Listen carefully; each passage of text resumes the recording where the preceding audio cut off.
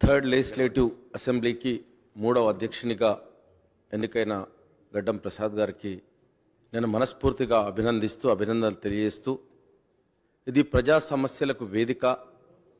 ఈ ప్రజా సమస్యలు అర్థవంతంగా జరిగేటట్టు గత స్పీకర్స్ ఎవరైతే ఉన్నారో చాలామంది ఈ హౌస్ని చాలా బాగా నడిపించిన వాళ్ళు వాళ్ళందరినీ కూడా మీరు ఒకసారి చూసి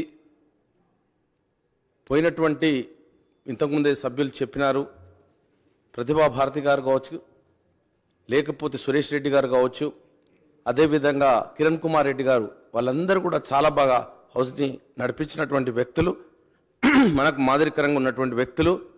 మరి మీరు ఒక దళిత కుటుంబం నుండి వచ్చినవారు దళిత సమస్యలను చూసినవారు మరి ఇక్కడ దళిత సభ్యులు కూడా చాలామంది ఉన్నారు.